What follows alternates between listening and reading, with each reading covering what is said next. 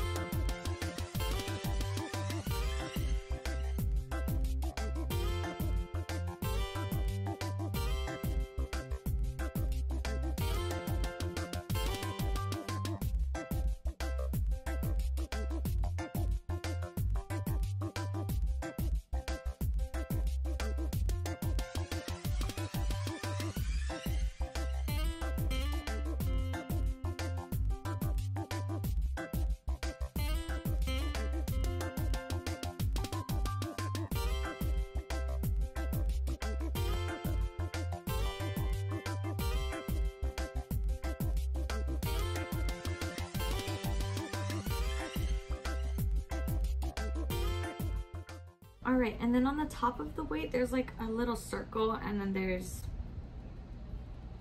crisscross lines. Um, I guess that's just the way how they distinguish their weight and where the pounds are and what brand it is and whatever else. But I'm gonna be drawing that with buttercream. I'm gonna be making a blob in the middle and then I'm gonna make the hole using my finger.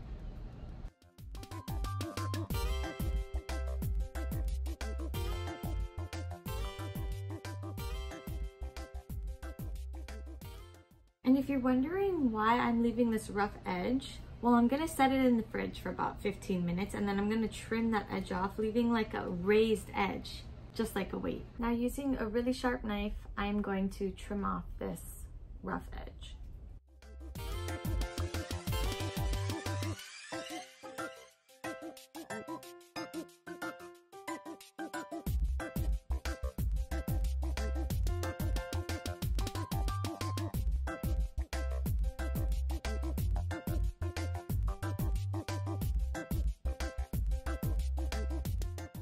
So the edges are clean. Now I just want to round them out, but I'm going to pop this in the fridge for another 10 to 15 minutes and then I'll smooth it out using a glove.